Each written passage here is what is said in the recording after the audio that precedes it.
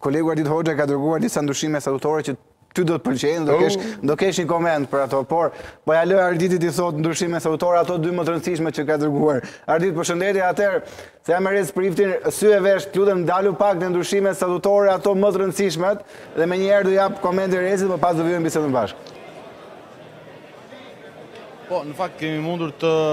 zbardhim apo të Verifikojmë disa nga ndryshimet në statutin e Partisë Demokratike. Duhet theksuar se kemi arritur ta sigurojmë ose na është vërë në dispozicion nga zyra e shtypit e Partisë Demokratike vetëm pak minuta më parë, siç kemi raportuar në lidhjen e mëparshme, nuk e kemi pasur në dispozicion këtë draft, të cilin do e shpjegojmë tani.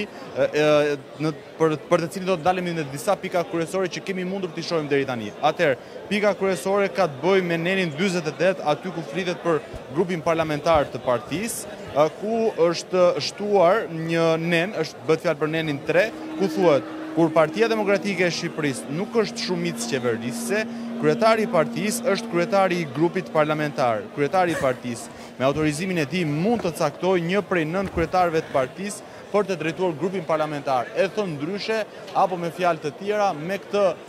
nen, me këtë ndryshim në këtë nenin 48 të statutit të Partisë Demokratike, Lulzim Basha largon Gazment Bardhin nga drejtimi i grupit parlamentar demokrat dhe vendoset aty vetë, ose mund të emërojë një nga nënkryetarët e partisë.